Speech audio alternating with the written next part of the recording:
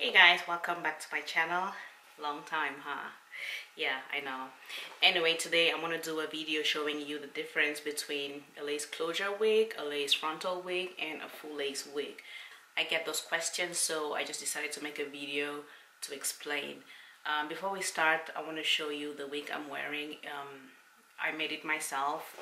She's called Nia and she's in my Etsy store. It's The default is black, but you can request a blonde color for a little more money.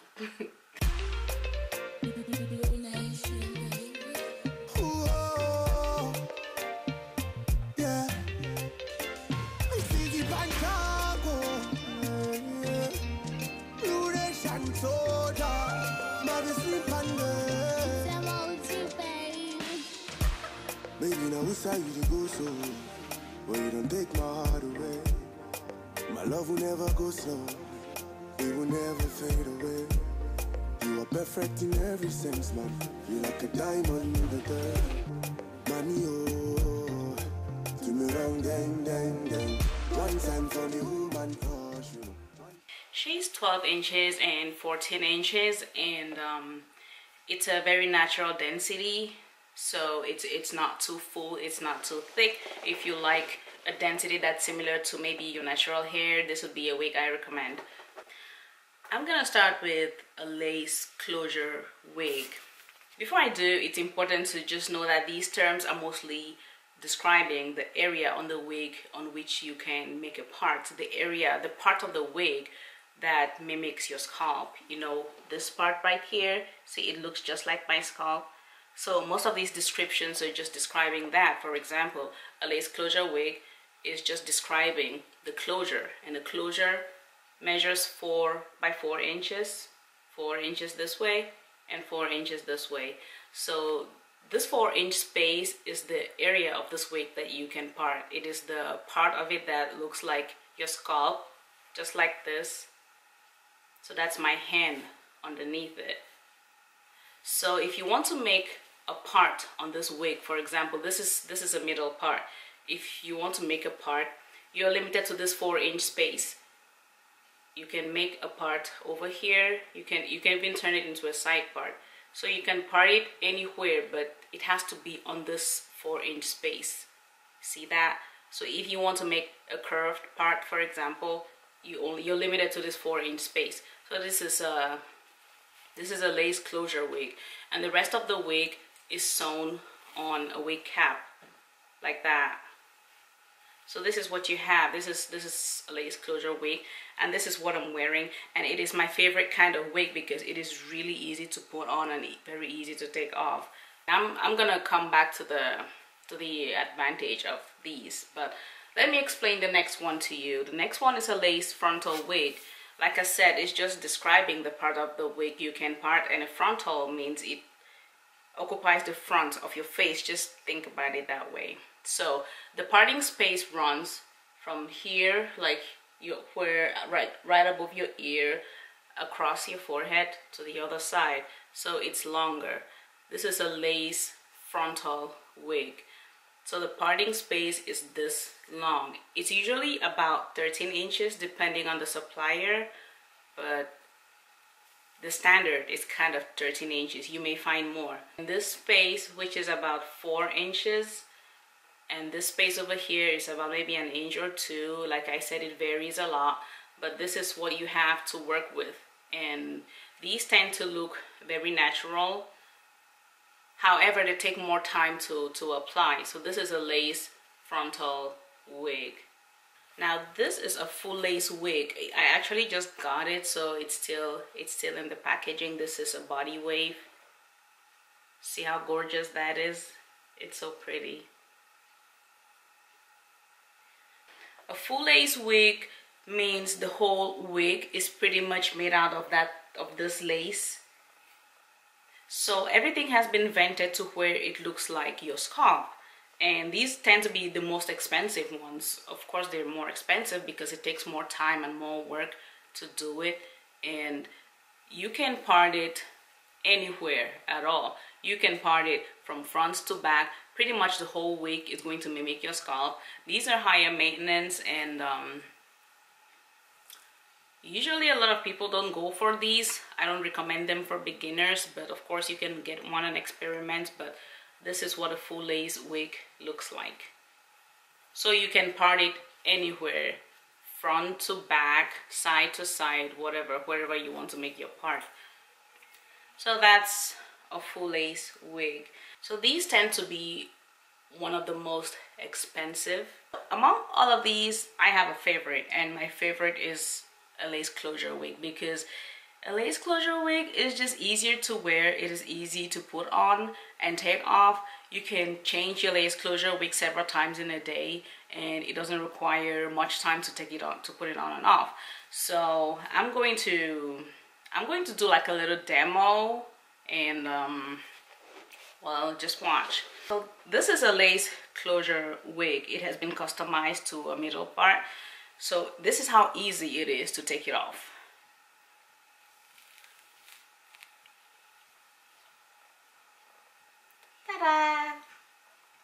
Just like that. And if you want to put it back on it is so easy. You simply you simply wear it and everything falls into place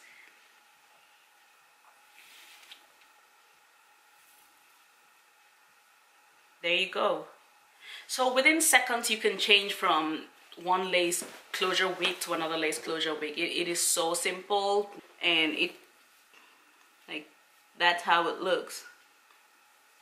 And you can do baby hairs if you want. It's totally optional. I have baby hairs right here and baby hairs right here it's totally optional. You see i don't even lay them but once it is customized in this way you can take it on and off. You don't have to do a lot of maintenance on it. So that's why i really love lace closure wigs. Now um, let me do a little demo with with a frontal.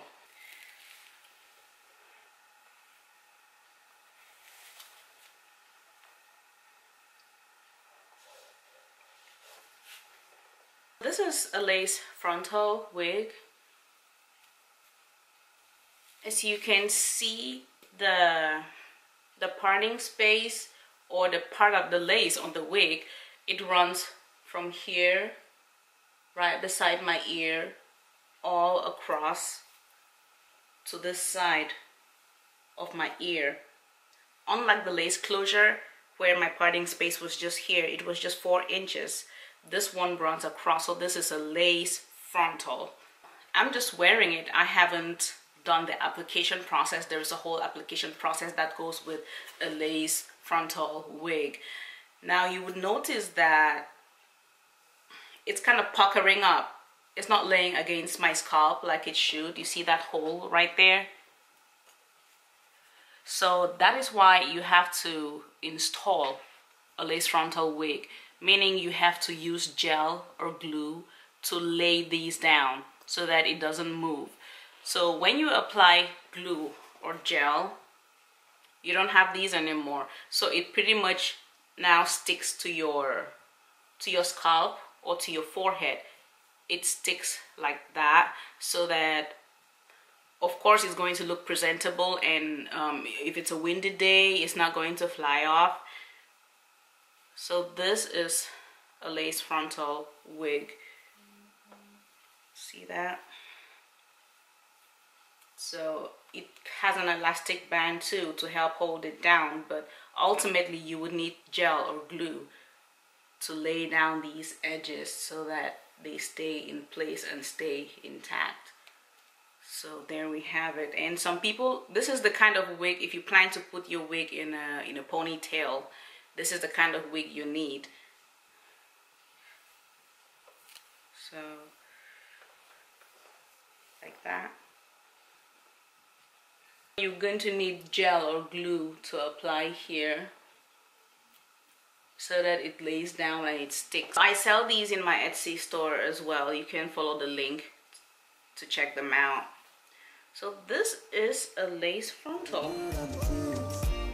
Cause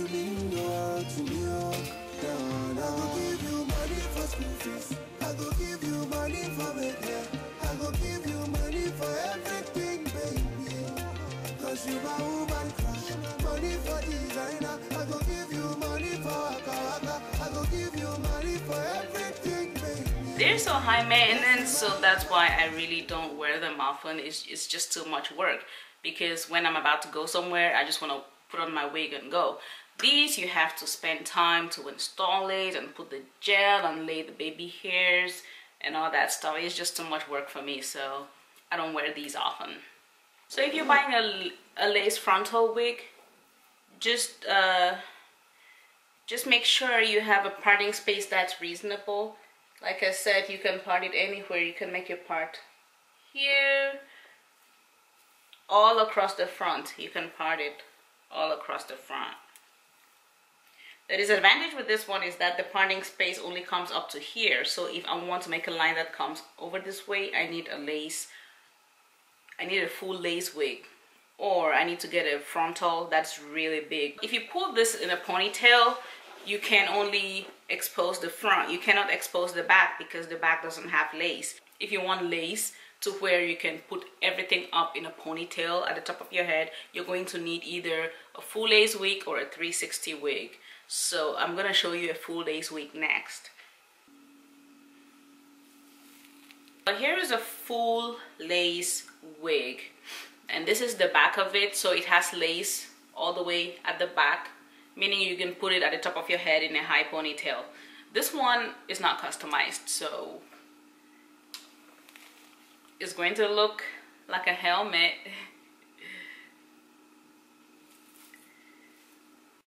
It's very similar to a frontal but the difference is that you can you can part it from the front all the way to the back. Remember the frontal you can part it only from one side across your head to the other side. So a full lace wig has that extra perk to where you can put it up in a high ponytail and you'll be fine. You can part it from the front all the way to the back and it's going to look like your scalp so that's the advantage of a full lace wig. Alright, that's it for this video. I hope I explained to you those differences and I hope you understood. If you have any questions, you can ask me in the comment section. I try, I respond to my comments. Follow me on Instagram. My Instagram is the Queen's Wigs. My other Instagram is Dextrose Ivy. The link to my Etsy store is down below. A website is coming soon. You can follow me or you can add me on Facebook as well, Dextrose Ivy. Um, what else? So let me know if you have questions. I give you money for